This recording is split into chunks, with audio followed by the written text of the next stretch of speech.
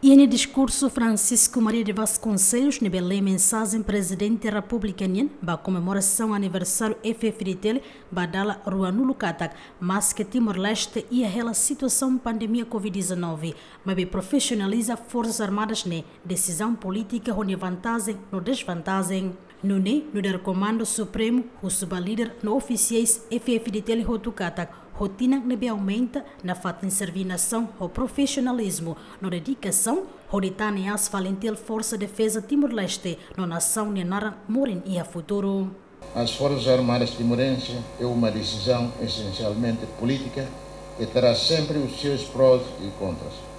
Essas mudanças nas mãos do poder político exigirão a necessária maturidade e consciência política daquilo que servirá servirá melhor os destinos do país.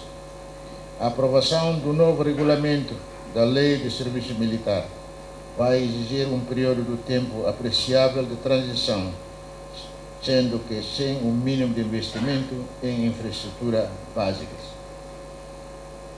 Equipamentos e armamento e operacionalidade e a capacidade de cumprir missões cometidas, as FFDT serão necessariamente condicionadas.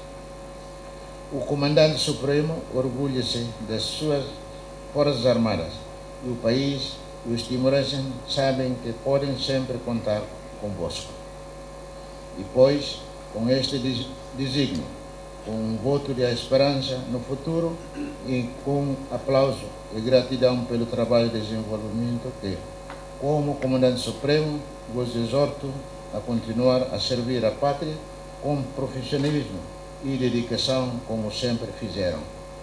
CEF Estado Moço reconhece apoio na BFF Tele durante a Operação Prevenção e Mitigação Covid-19, baseada a pedir o esforço no Serviço de Segurança Sira, na Autoridade de Saúde Rassi, onde halau canar o e terreno, inclui meta em controle no segurança e a fronteira Reimarang, no fronteira Tassi, ho Indonésia, no Seluktan, Lolita Cabral, Tito Lívio, Gemen.